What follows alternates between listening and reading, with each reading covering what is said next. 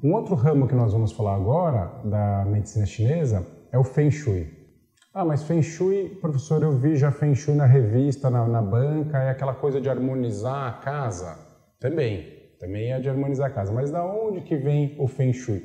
O Feng Shui é exatamente esses conceitos da medicina chinesa de harmonização colocados sobre o ambiente. Então, quando na acupuntura, na fitoterapia e no Qigong a gente utiliza a harmonização do yin, do yang, do quente, do frio, né, do, do metabolismo e da, e da nutrição, né, do alto e do baixo, na, que eles chamam de yin yang na medicina chinesa, para criar equilíbrio, para criar harmonia no corpo. Né? Então a gente utiliza isso na acupuntura para o nosso corpo, é, na fitoterapia para o nosso corpo. O Feng Shui a gente utiliza para o ambiente, os mesmos conceitos, né?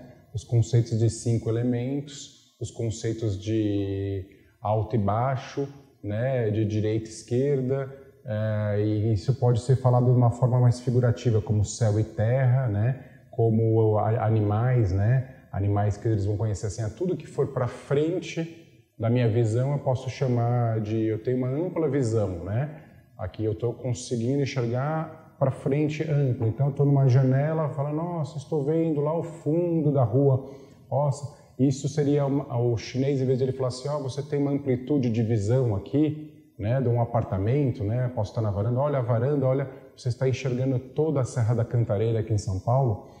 É, o chinês chama assim, olha, você tem uma grande fênix, a sua fênix é expansiva, né? Então, isso é um modo figurativo, né? Ao mesmo ponto, uma base atrás das minhas costas, que nem a cadeira que eu estou utilizando aqui, ela está protegendo a minha coluna atrás, né? O chinês, em vez de falar assim, olha, um apoio nas suas costas ou na sua casa, uma parede possa ter atrás, ou uma montanha, a posição que você possa estar colocado no escritório, que proteja as suas costas de vento, de friagem ou até de uma agressão, uma, uma pessoa que chega e te dá um susto, alguma coisa assim. Isso o chinês ele não vai, não vai chamar de apoio de costas, ele vai chamar de tartaruga. Então são modos figurativos. Esse é o Feng Shui, a gente pratica as bases da medicina chinesa no ambiente, né?